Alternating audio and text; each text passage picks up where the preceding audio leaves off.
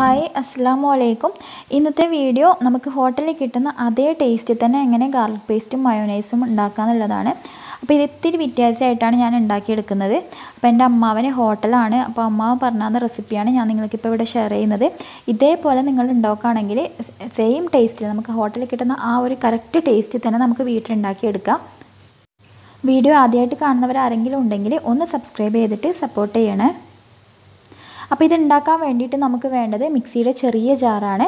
അപ്പോൾ ഇത് ആ ചെറിയ ജാർ എടുത്ത് വെച്ചിട്ടുണ്ട്. എന്നിട്ട് അതിലോട്ട് ഞാനിപ്പോൾ രണ്ട് മീഡിയം സൈസുള്ള വെളുത്തുള്ളി അരിഞ്ഞ് ചേർത്ത് കൊടുത്തിട്ടുണ്ട്. പിന്നെ ഒരു മുട്ടയുടെ അളവാണ് ഞാൻ കാണിക്കുന്നത്. ഒരു മുട്ട എടുത്തിട്ടുണ്ട്. അപ്പോൾ അതിന്റെ യെല്ലോവും വേണം വൈറ്റും വേണം. നമ്മൾ സാധാരണ വൈറ്റ് വെച്ചിട്ടാണ് ചെയ്യാറ്. പക്ഷേ യെല്ലോവും കൂടി വെച്ച് ചെയ്യുമ്പോഴാണ് നമുക്ക് കറക്റ്റ് ആ ഹോട്ടലിൽ കിട്ടുന്ന അതേ ടേസ്റ്റ് തന്നെ കിട്ടുക. അപ്പോൾ അത് സ്കിപ്പ് ചെയ്യരുത്. ഒരു മുട്ടയുടെ യെല്ലോവും വൈറ്റും കൂടി ചേർത്ത് കൊടുക്കുക. എന്നിട്ട് ഇത് രണ്ടും കൂടി ചേർത്തിട്ട് ഒന്ന് ഒന്ന് അടിച്ചെടുക്കുക. ഒരു മുപ്പത് സെക്കൻഡൊക്കെ മതി. ഒന്ന് നല്ലപോലെ ഈ വെളുത്തുള്ളി അരഞ്ഞ് കിട്ടണം ആദ്യം നമുക്ക്. അപ്പോൾ ഇതാ വെളുത്തുള്ളിയും ഈ മുട്ടയും ഞാൻ നല്ലപോലെ ഒന്ന് അടിച്ചെടുത്തിട്ടുണ്ട്. വെളുത്തുള്ളിയൊക്കെ നല്ലപോലെ അരിഞ്ഞും വന്നിട്ടുണ്ട്. ഇനി നമുക്ക് ഇതിലോട്ട് ചേർത്ത് കൊടുക്കാനുള്ളത് ഉപ്പാണ്. ആവശ്യത്തിനുള്ള ഉപ്പ് ചേർത്ത് കൊടുക്കാം. അപ്പോൾ ഉപ്പ് ചേർക്കുമ്പം ആദ്യം തന്നെ ഒരുപാട് ചേർക്കരുത്. ഉപ്പ് കൂടിക്കഴിഞ്ഞാൽ പിന്നെ നമുക്കൊന്നും ചെയ്യാൻ പറ്റില്ല. അപ്പോൾ കുറച്ച് മാത്രം ഉപ്പ് ചേർത്ത് കൊടുക്കുക പിന്നെ ഇതിലോട്ട് ഞാനിപ്പോൾ ഒരു ടേബിൾ സ്പൂൺ വരെ വിനാഗിറും ചേർത്ത് കൊടുക്കുന്നുണ്ട്. അപ്പോൾ വിനാഗിറിന് പകരം നിങ്ങൾക്ക് ചെറുനാരങ്ങയുടെ നീരുണ്ടെങ്കിൽ അത് ചേർത്ത് കൊടുത്താലും മതി. എന്നിട്ട് ഇത് രണ്ടും കൂടി ചേർത്തിട്ട് വീണ്ടും നമുക്കൊന്ന് അടിച്ചെടുക്കാം. ഒരു നേരത്തെ പറഞ്ഞതുപോലെ തന്നെ ഒരു മുപ്പത് സെക്കൻഡ് വീണ്ടും ഒന്ന് അടിച്ചെടുക്കാം. അപ്പോൾ ചെറുനാരങ്ങയാണ് നിങ്ങൾ ചേർക്കുന്നതെങ്കിൽ ഒരു ചെറുനാരങ്ങയുടെ ഒരു വലിയ ചെറുനാരങ്ങയുടെ പകുതി ചേർത്ത് കൊടുത്താൽ മതി. അപ്പോൾ കുരുവൊന്നും പെടാതെ നോക്കുക കേട്ടോ ചെറുനാരങ്ങ ചേർക്കുന്ന സമയത്ത്. അപ്പോൾ ഇതാ ഇതും ഞാൻ അടിച്ചെടുത്തിട്ടുണ്ട്. ഇനി നമുക്ക് ഇതിലോട്ട് കുറച്ച് കുറച്ചായിട്ട് ഓയിൽ ഒഴിച്ചിട്ട് ഇത് നമുക്ക് കട്ടിയാക്കി എടുക്കണം ഓയിൽ ഒഴിക്കുമ്പോഴാണ് നമുക്കിത് കട്ടയായിട്ട് കിട്ടുക. അപ്പോൾ സൺഫ്ലവർ ഓയിലാണ് ഒഴിക്കേണ്ടത്. വെളിച്ചെണ്ണയൊന്നും അല്ല ഒഴിക്കേണ്ടത്.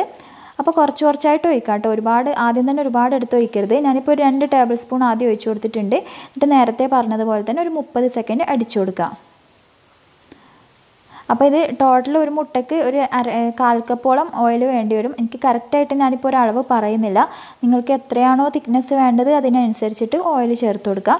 ഞാനിപ്പോൾ രണ്ട് ടേബിൾ സ്പൂൺ ചേർത്ത് കൊടുത്തപ്പോൾ ഇതൊട്ടും തിക്കായിട്ട് വന്നിട്ടില്ല. അപ്പോൾ വീണ്ടും നമുക്ക് ഓയിൽ ചേർത്ത് കൊടുക്കണം. അപ്പോൾ വീണ്ടും നമുക്ക് ഞാനിപ്പോൾ രണ്ട് ടേബിൾ സ്പൂൺ തന്നെയാണ് വീണ്ടും ചേർത്ത് കൊടുക്കുന്നത്. അപ്പോൾ ഇതാ നേരത്തെ പറഞ്ഞ പോലെ തന്നെ നമ്മൾ ചെയ്ത പോലെ തന്നെ വീണ്ടും അടിച്ചു കൊടുക്കുക. അതും ഒരു മുപ്പത് സെക്കൻഡൊക്കെ മതി. ഒരുപാട് ടൈമൊന്നും അടിക്കേണ്ട ആവശ്യമില്ല.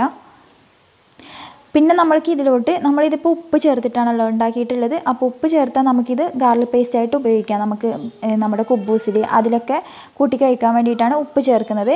ഇനി നമ്മളിത് മയോണൈസ് ചേർത്തിട്ട് മയോണൈസ് ആയിട്ടാണ് ഉപയോഗിക്കുന്നതെങ്കിൽ അപ്പോൾ ഉപ്പിന് പകരം നിങ്ങൾ പഞ്ചസാര ചേർത്ത് കൊടുത്താൽ മതി.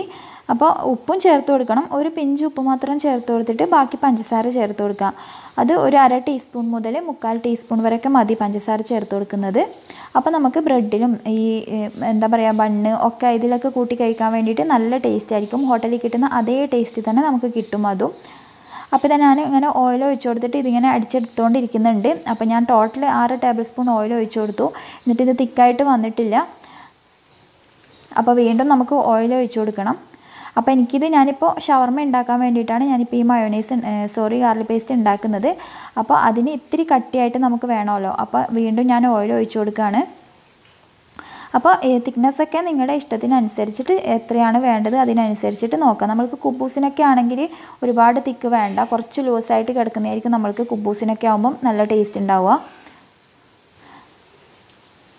അപ്പോൾ ഇതാ വീണ്ടും ഞാൻ അടിച്ചു കൊടുത്തിട്ടുണ്ട്. അപ്പോൾ ഇത്രയും തിക്നെസ് ഒക്കെ ആണെങ്കിൽ നമുക്ക് കുബൂസിനൊക്കെ കൂട്ടി കഴിക്കാൻ നല്ല ടേസ്റ്റ് ആയിരിക്കും. പക്ഷേ എനിക്ക് ഷവർമൊക്കെ ആയതുകൊണ്ട് ഞാൻ വീണ്ടും ഓയിൽ ഒഴിച്ചു കൊടുത്തിട്ട് ഒന്നും കൂടി ഒന്ന് കട്ടിയാക്കി എടുക്കുകയാണ്. അപ്പോൾ ഇത്രയേ ഉള്ളൂ നമ്മുടെ മയോനൈസും ഗാർലിക് പേസ്റ്റൊക്കെ നല്ല ടേസ്റ്റ് തന്നെ നമുക്ക് വീട്ടിലുണ്ടാക്കി എടുക്കാം. നിങ്ങൾ തീർച്ചയായിട്ടും ഒന്ന് ട്രൈ ചെയ്ത് നോക്കിയിട്ട് ഫീഡ്ബാക്ക് അറിയിക്കാം. വീഡിയോ ഇഷ്ടപ്പെട്ടിട്ടുണ്ടെങ്കിൽ നിങ്ങളുടെ ഫ്രണ്ട്സിനും റിലേറ്റീവ്സിനൊക്കെ ഒന്ന് ഷെയർ ചെയ്ത് കൊടുക്കണേ. ലൈക്ക് ചെയ്യാൻ മറക്കരുത് ഷെയർ ചെയ്യാനും മറക്കരുത് സബ്സ്ക്രൈബ് ചെയ്യാനും മറക്കരുത്.